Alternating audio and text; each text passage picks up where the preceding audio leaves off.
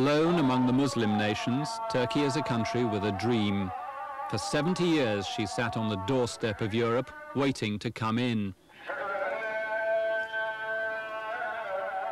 But do all Turkey's children really want a European home? And do the ones who keep the faith there think like us?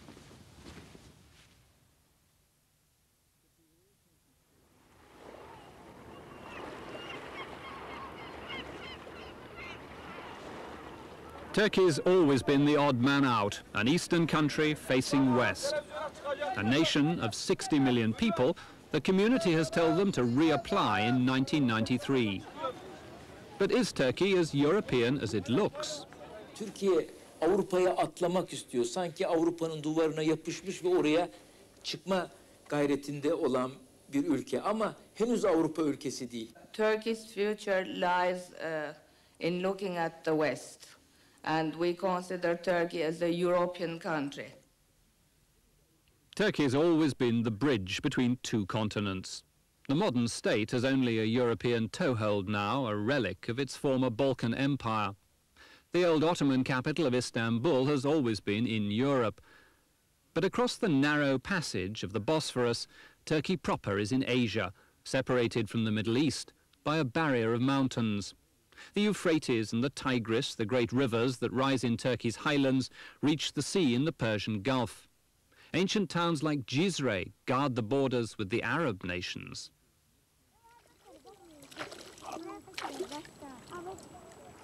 In this part of Turkey, you're a long way from Brussels, far nearer Baghdad. This is the Tigris River, Turkey's border. That village over there behind me is in Syria.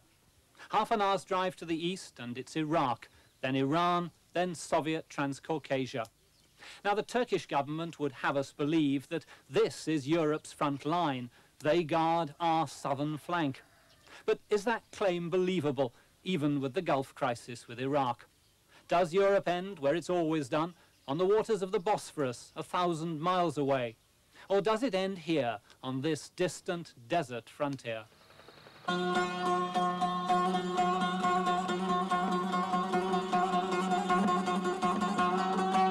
Istanbul. This was a European city once, easy to believe that it could be again.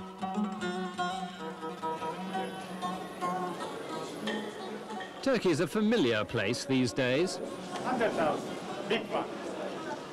In the past, military rule and human rights abuses, Turkey's old bad habits, used to stop us doing business.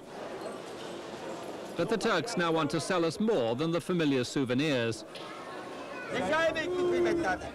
This is where the action is these days. The stock exchange boiled over onto the pavement in 1989. People got the message that in the free market, they'd get a chance to make their pile. Money talks. Turkey was letting Europe know that perestroika was coming. First the economy would be liberated, then politics. It was one man's idea.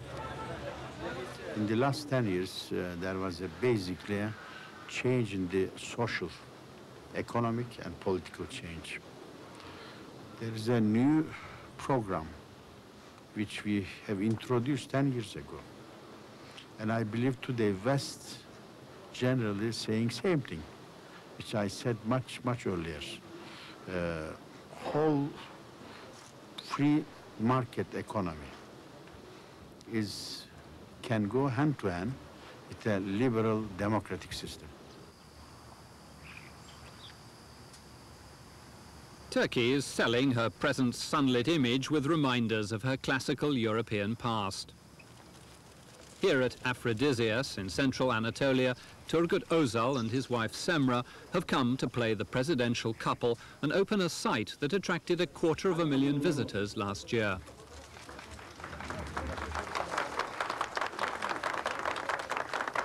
Putting democracy back together after the 1980 coup is proving much more difficult. The politicians know the army is watching every move they make.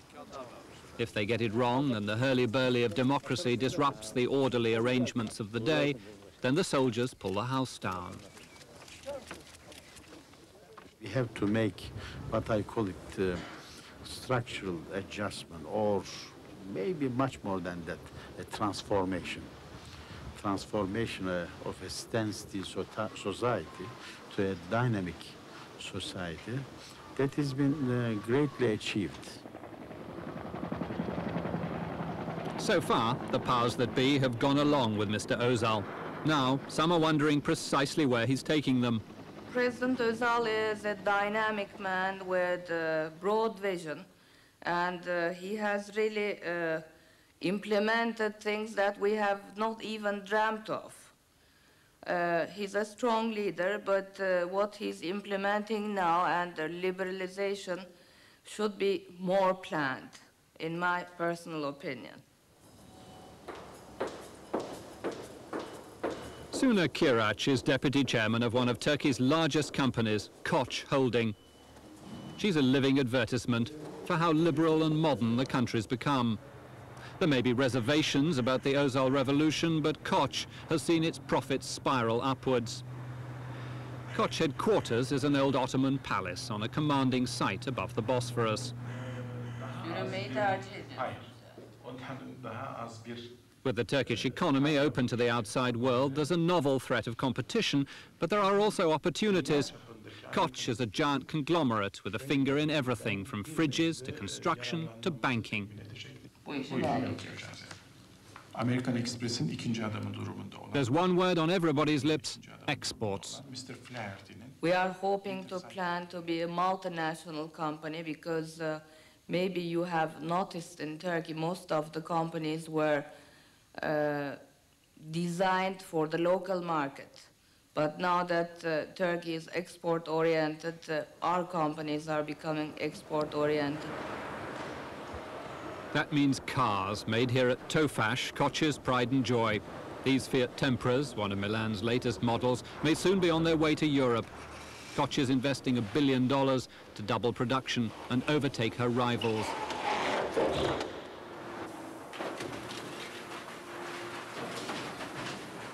Turkey hopes to beat off the competition with a unique combination, high-tech and low wages. The workers get only 80 pence an hour. But with 56% inflation, they want a big rise now. And that could jeopardize the whole investment. Dinner at the Koç home in Istanbul. It may be a billion dollar business, but it's still a family firm. Yarın beş buçukta gelecekti. Dinner yet.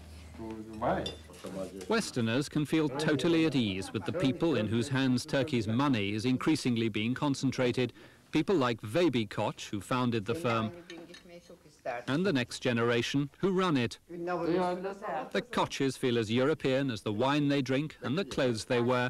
This small elite now want a tighter bond. Türkiye istikbali olan bir memlekettir. Ve bugün Türkiye ihracatının yüzde sekseni sanayi mamullerindedir. Bundan dolayı Türkiye Batı ile daima işbirliğine devam edecektir ve bu iş gidecektir.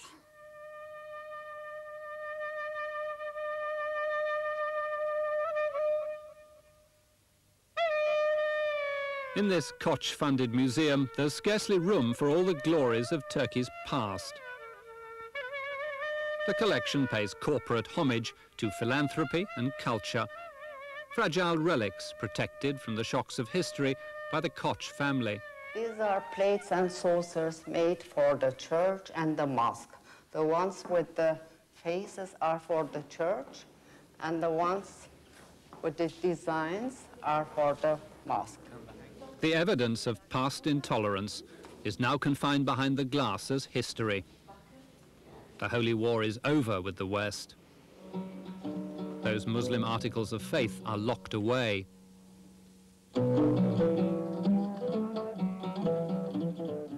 It was very different once. In the Middle Ages, all the Muslim world acknowledged the Turkish Sultan. And Europe's ambassadors to Istanbul knew that Turkey was more than a match for the West. In 1683, Christendom trembled as Suleiman II took his armies to the gates of Vienna. But that was the high watermark of Ottoman power. Two centuries of decline began the Turkish bogeyman became the sick man of Europe.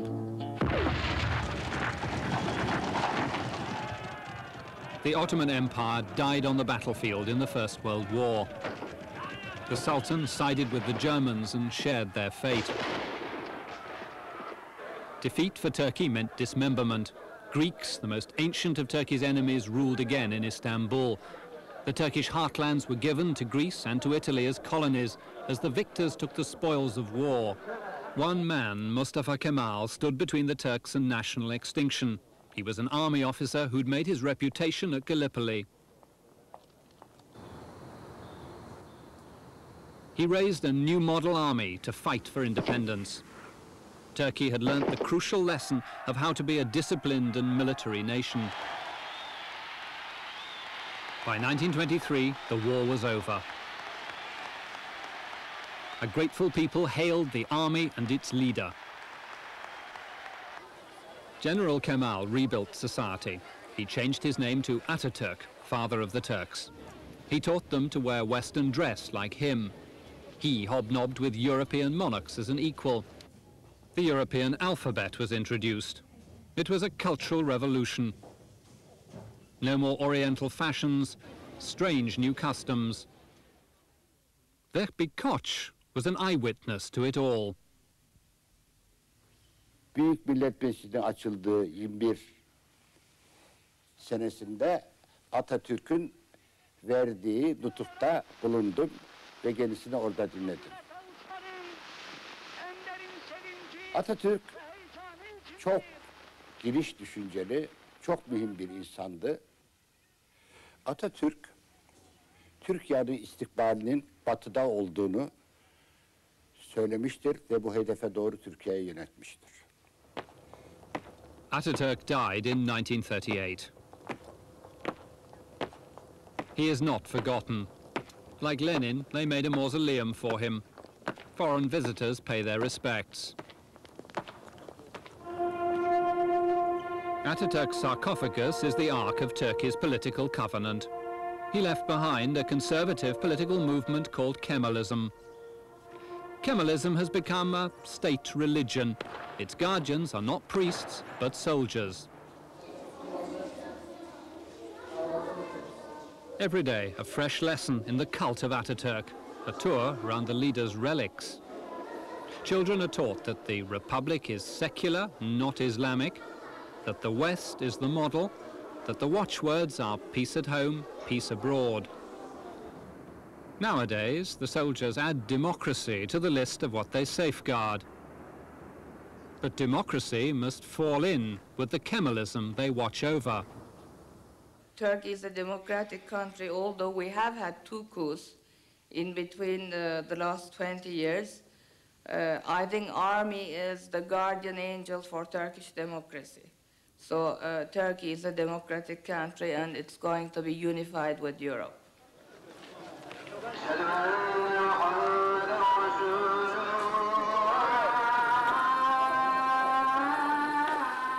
Islam has been the custom of the people here for virtually a thousand years. Under the new republic, the state discouraged public piety in the hope that religion would wither on the vine. But Islam had cut too deep into the fabric of Ottoman society and the patterns showing through again.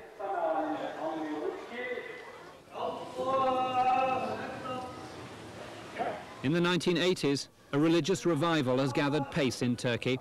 President Ozal's economic changes have brought country folk flooding into town, and they've brought the old religion with them. Kemalism copies Europe. Its day of rest is Sunday. But as more people go to Friday prayers, fundamentalism's becoming difficult to ignore. My father uh, was a religious man, I mean, uh, with some uh, religious identities, claiming himself as an Islamic man with his uh, beard. My, my mother was uh, covering her hair.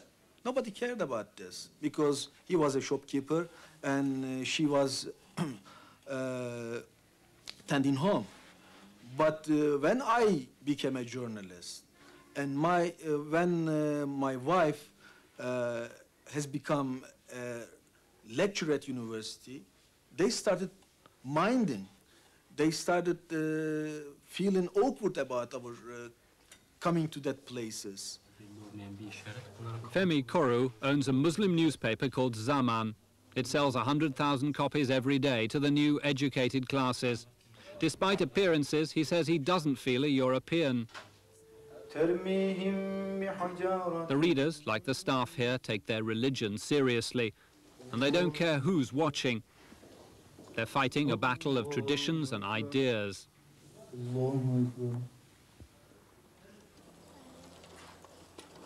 You can measure the progress of that silent battle on the building sites of Turkey. Everywhere, new minarets are rising. But where does the money come from? The government says that mosques are built by private enterprise, but the Department of Religious Affairs has suddenly had its budget more than doubled, and no one seems to know where the money's going. And the special schools for training future mullahs have had a lot more money from the government. Arabic and religion are on the syllabus. They're turning out 70,000 pupils every year. One in eight university graduates comes from these schools now. Ataturk must be turning in his grave at the thought of computer programmers in purdah, not the future he commanded. And many of these lads will not be taking up careers as clergymen. And that's what worries Doğu Perinçek, editor of the left-wing magazine Yüzyıl. Doğu Perinçek is a veteran of struggles with the fundamentalists, and he's worried at what the future's going to bring. İslam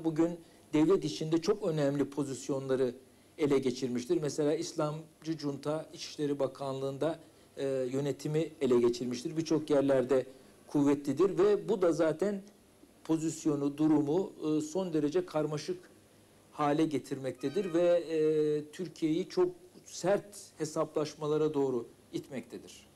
Fundamentalism now is an uh, item on the uh, Turkish political and social agenda.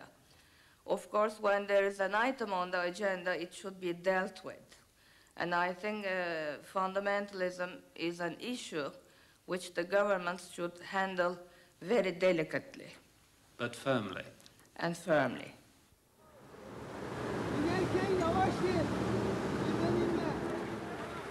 Mrs. Kirach hopes that the problem will be solved by enlightenment and education. But in the past, challenges to Kemalist orthodoxy brought in the army. Today, the soldiers keep well out of the limelight. But this was a NATO exercise, our only opportunity of getting near the Turkish military. It's a conscript force, almost a million men. It's not like Latin America. The generals don't like taking power, but they don't like breakdowns in law and order either. So they keep on taking over the government. They've done it three times since 1960. The last time was just 10 years ago. The senior officers who carried out that operation are now retired. Some are prepared to talk. They created a nation under the leadership of Kemal Atatürk. So once you create something, you want to keep it. you want to keep it in a good condition, where it's supposed to be. That is the feeling you have to to protect your country from uh, the threat that can damage and jeopardize the peace and security uh, of the country. Internal threats as well as external threats. Well, if the dimensions of internal threats, I mean, gets uh, jeopardizes the uh, the country's independence and sovereignty and that sort of thing, and then uh, you have to think that that's a, that's a great threat. It was the street violence of the 70s that prompted the last coup. The soldiers argued provocation. As extremists clashed with casualties in the thousands, the soldiers cleared the field. The army blamed the politicians, especially the left. Thousands were arrested and tortured. The political parties were dismantled. Searching for allies against the left, the army decided to let Muslim fundamentalism grow. In 1983, as they relinquished power, the army chose the new prime minister. He was Turgut Özal, a conservative from a religious background. Turgut Özal has moved forward as the military stepped back, a civilian figurehead. But no one was able to tell us how much Özal still owes to the army. Can a figurehead come to life? It's hard to tell because he's always on the move. Last year, by an amazing piece of acrobatics, he made himself the president. With one bound, he was free and off to the White House to make foreign policy on his own. Welcome back to the Oval Office. Mr. Özal breaks the rules of cabinet democracy. When he went to talk to Mr. Bush, the Turkish foreign minister went with him, but the two presidents monopolized the Oval Office photo opportunities. And Mr. Özal spoke to Mr. Bush alone. I do not think that even Prime Minister does not know what really Mr. Özal has discussed with President Bush about the Gulf crisis, about the Turkish commitment. Nobody knows. According to Constitution, we, are, we have the parliamentarian system.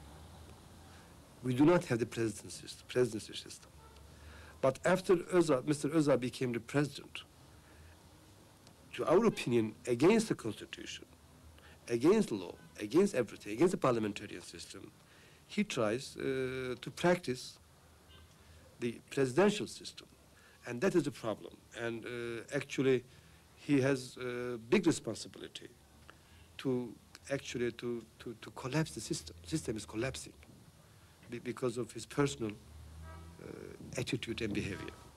Your critics say that you're carrying out a constitutional coup, giving yourself... I'll give over. you, I'll give you an English copy of uh, our uh, constitution. You study it. It's a kind of copy, basically, many articles is, has been copied from the French constitution.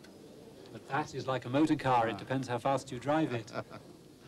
Uh, that depends upon the who is on the presidency in Turkey. And you're a fast driver. I am a fast driver, yes. The Ozal roadshow is impressive, but has it given Turkey's politics anything but a facelift? The structural damage from that collision with the tanks is still to be repaired. But the military handed back authority only in the west. Take the old Silk Road to the east and it's a different story. This is the city of Diyarbakir. It boasts the longest stretch of medieval walls still standing anywhere.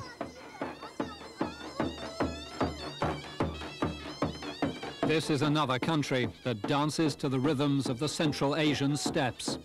Beyond the reach of package holidays, a very different atmosphere to the Turkey of the West.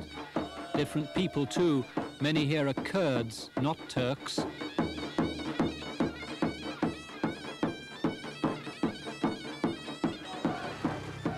Economic liberalization has brought no progress to the east. Instead, it's meant an end to government-funded factories and jobs. The 15 million people in the eastern provinces are getting poorer. Since the military coup, 10 provinces in eastern Turkey have remained under strict administrative rules or martial law. Our activities were constantly monitored. We were accompanied by the police most of the time. But the security forces were shy of the camera and went to some trouble to avoid being filmed while watching us.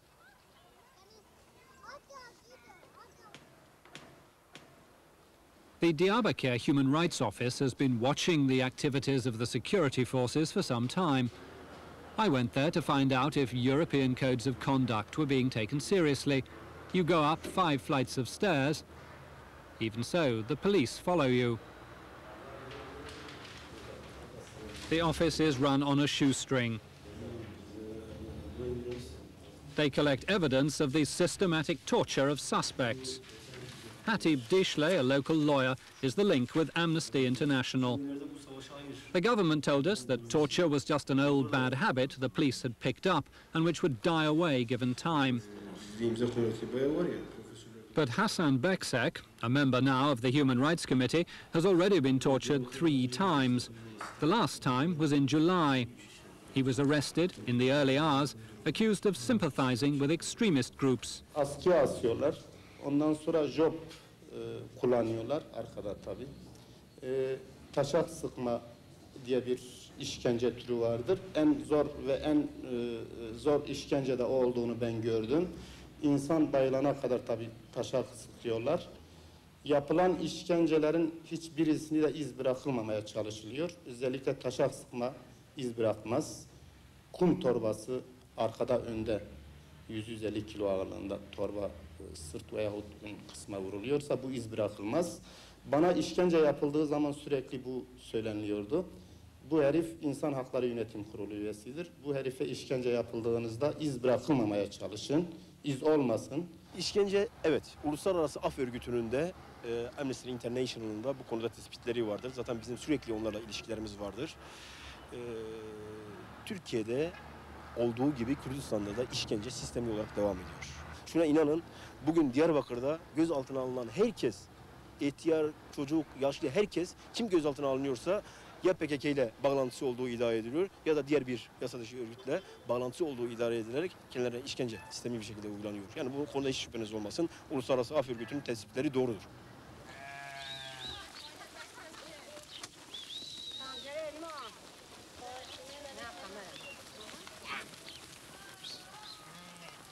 This is the village of Mohammedia. The locals call it Inji, but not in the hearing of strangers. Inji is a Kurdish word, and the Kurdish language and culture are officially forbidden. This is a place that history forgot. If Western Turkey has an economy a bit like Greece, this end of the country looks like Bangladesh. Haji Ali is old enough to remember the Ottoman Empire under which he was born. Not a great deal has changed since then. In these parts, Europe is a word people don't quite understand, and community is just about all they've got. Incomes in this part of Turkey can be as low as three or four dollars a week.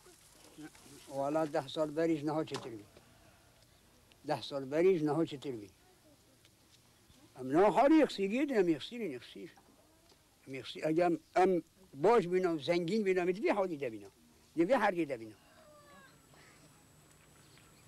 Any savings these villagers once had have been eaten up by inflation, and life for many would be impossible without help from outside.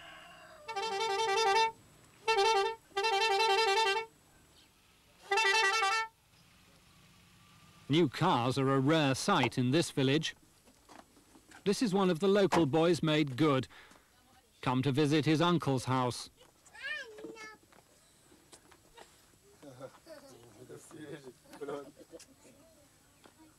The young man lives these days in the town of Adana. He helps support the family. His grandmother would be destitute without his help. This family is lucky, but there's an undercurrent of resentment. Buraya 12 sene önce gittim. Zaten buraların durumu hep ağaların malıdır, şeyin malıdır. Hiçbir şeysi, kimsenin bir şeysi yoktu böyle bu tip köylerinde. Zaten birinin ne olacak? Bir evi bir burada bir çamurdan yapılan bir gece kondu olarak geçerlidir bunlar. Yarın ağanın herhangi bir şeysi olduğu zaman bu ağa çekip zaten siktir edip gidecek. O köylünün zaman zaten bir şey. Buradan gitmemizin neden sebebiyle zaten şeydir. E, yoksulluktan medene gelmekten olan bir şey. Hep fakirlikten, şeylikten buradan gitmektedir.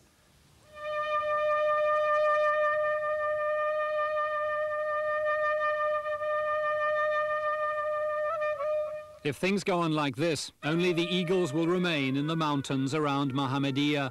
People are leaving in their tens of thousands, and poverty isn't the only reason. These are the Judi Mountains in the far southeast, fringing the border with Iraq. They're an increasingly dangerous place to live.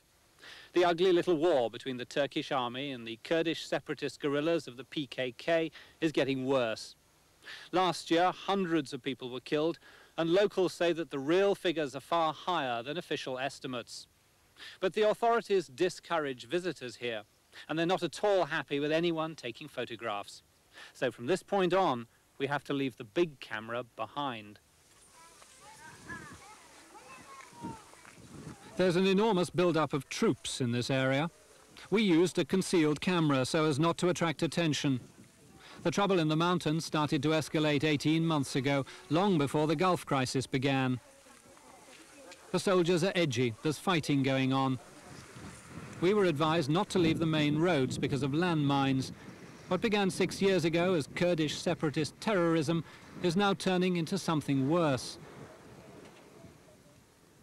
Almost 30 mountain villages near here have been destroyed and their inhabitants forced to leave. Anyone found there now is assumed to be hostile.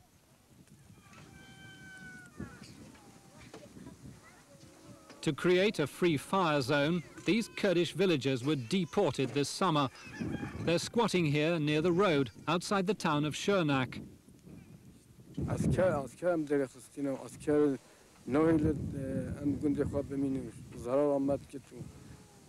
هر اشیای ما شوط اندینا و آمد که اینا ما هیوی رجا کریا و چینا بود. اونا رو بپیچی اون نامینی. مدش هوا سه روز چهار روز دیده تو این نامینی. که اشیای آجی بردین میشن هنگوی آرد. هر اشیای ما خانه آجی بردین ام مهاجر بینام ریکتی These people were only allowed to take away what they could carry with them. They lost most of their livestock. They're now too poor to build a house or buy a bus ticket to the town. And the refugees are already running out of food and fuel. Winter here brings three feet of snow. Local people told us that 30,000 villagers have already been evicted in this area alone. An iron fist policy now finds its excuse in the Gulf crisis.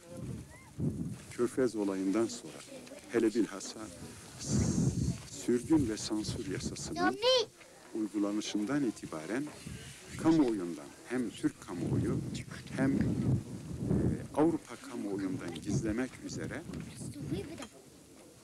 bir sansür ve sürgün yasası çıktı.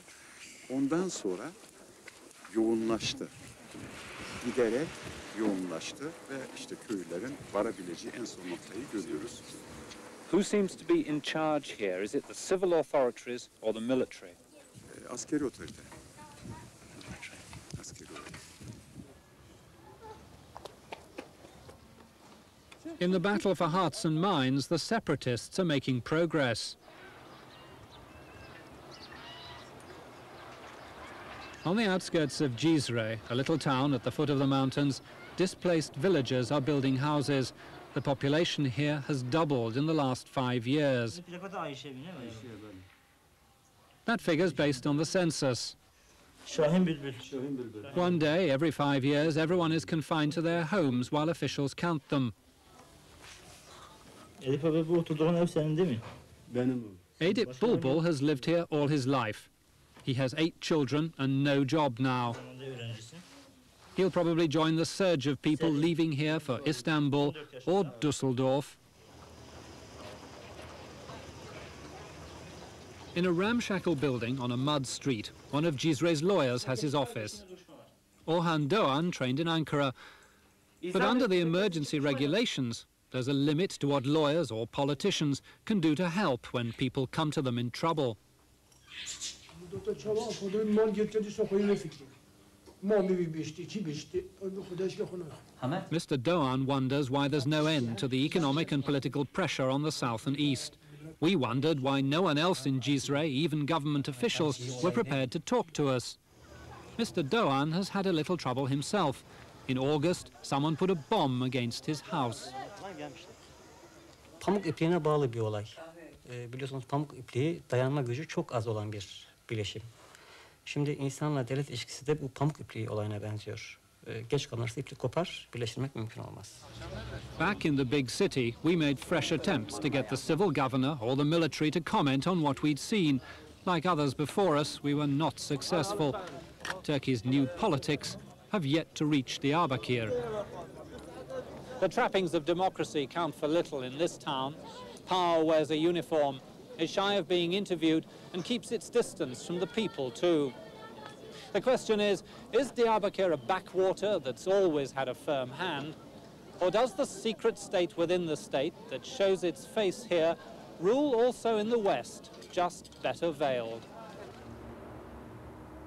Heroic sculpture stands guard outside the new Grand National Assembly. Heroic efforts are required to make the system work. The military decided which parties are allowed to sit here. There's deadlock. Mr. Özal's government cannot get its bills approved, to the frustration of his motherland party, of which brother Korkut Özal is a member. And who will answer questions about the assassinations that are frightening the establishment? Someone's serving notice on Turkey's latest experiment with democracy. 17 prominent intellectuals and government officials have been killed this year. The police are still looking for the culprits. The government said they're fundamentalists or the left, but people remember the 70s. The road that led to military intervention started with assassinations just like these. As the funerals multiply, doubts about official explanations grow. Alarm about another coup is spreading. Muslim politicians who have the most to lose from violence see the murders as a weapon aimed not by Muslims, but at them. Bu ne sağcılar tarafından ne solcular tarafından yapılıyor. Bu organize bir güç tarafından yapılıyor ve kasıt Türkiye'de 80 öncesi olayları tekrar gündeme getirmek. Birbirlerine düşman etmek toplulukları. Topluluklar birbirine düşman ettikten sonra artık e, organize gücün işlediği cinayetlere ihtiyaç kalmayacak. Onlar birbirini öldürecek. And you get that same story even from their political antagonists on the left. Şimdi bir hesaplaşma başladı ve o hesaplaşmanın ilk kurşunları da atılmaya başladı. Bizde politik mücadele e, her zaman nazik ve centilmence olmuyor. Artık e, şiddet sahnededir.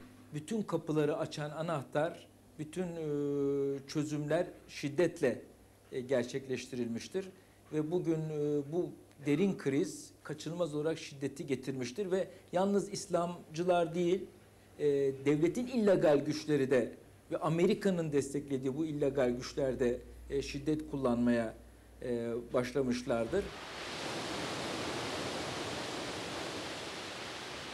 With turmoil threatening, the Turkish establishment is working against time to complete its economic program. Wealth may yet heal the country's wounds. This is the Ataturk Dam, fourth largest in the world, and centerpiece of a massive hydroelectric and irrigation project. Cotton will be the raw material for an industrial revolution in the industry in which Turkey has long planned to be a world beater. Textiles. Modern factories are already creating export markets. Market dominance will bring better wages, and the discontent accumulating in the factories may diminish.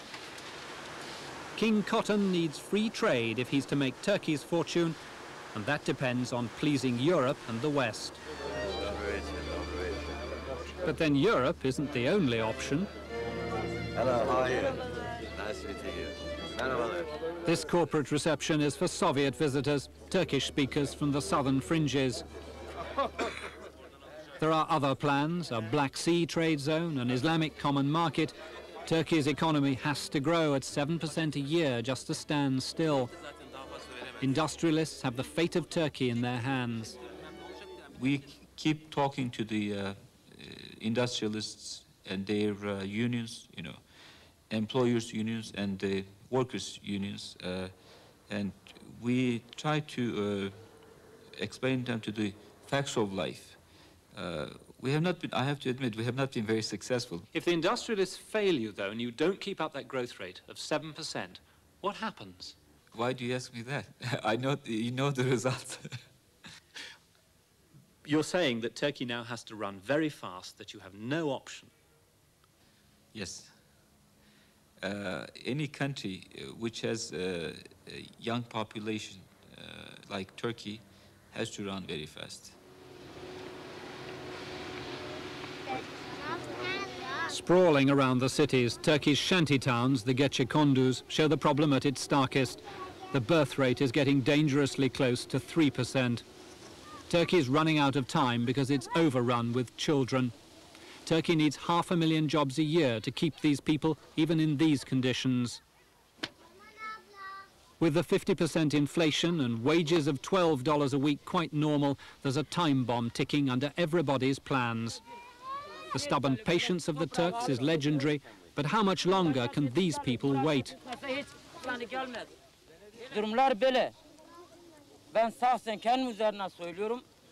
İki aydır ben burada boştayım. Beş tane altı tane nüfusum vardır. Nereye gitsin işe almıyorlar. Yani işler böyle. İşler çok zor. Hayat pahalı çok zor. Fakir e, halk tabakaları da bizi destekliyorlar. Onun da sebebi bu topluluklar e, şu anda tatbik edilen kapitalist düzen içerisinde eziliyorlar. İstiyorlar ki kendilerine daha rahat e, bir hayat imkanları olsun. Ancak buna bu sistem içerisinde kavuşamıyorlar. Don't let the language fool you. Refa is not the party of Marx, but the party of God. Party HQ is next door to the mosque, and it's a vote winner. In last year's local elections, Refa won one vote in six. But will the powers that be ever allow Muslim democracy to win a general election? There are people in this country with very close minds would, uh, this one time, one, uh, at the one hand, claiming to be democratic. On the other, they would uh, sacrifice democracy on the altar of secularism. Fear is spreading in every part of Turkey, but in the east, the prophecies of violence are more urgent. Türkiye 12 Eylül rejiminden önceki günlerden çok daha vahim bir tablo içinde. 12 Eylül rejiminden önce olmayan bir Güneydoğu'yla karşı karşıyayız. Ekonomik çöküntü bir hayli fazla. İşsizlik, enflasyon oranı rejimden önceki dönemle mukayese edildiğinde gerçekten maksimum düzeylere gelmiş durumda. Bence e, bir ihtilal için olgun şartlar hazırlanmaya zorlanabiliyor da olabilir. Ataturk tried to make a Western nation from an Eastern mold, but discipline is not enough. The Kemalist experiment is out of step with modern Turkey. Is Turkey the last country in Europe or the first nation of the Muslim world? That's a question that can't be answered until the soldiers finally march away.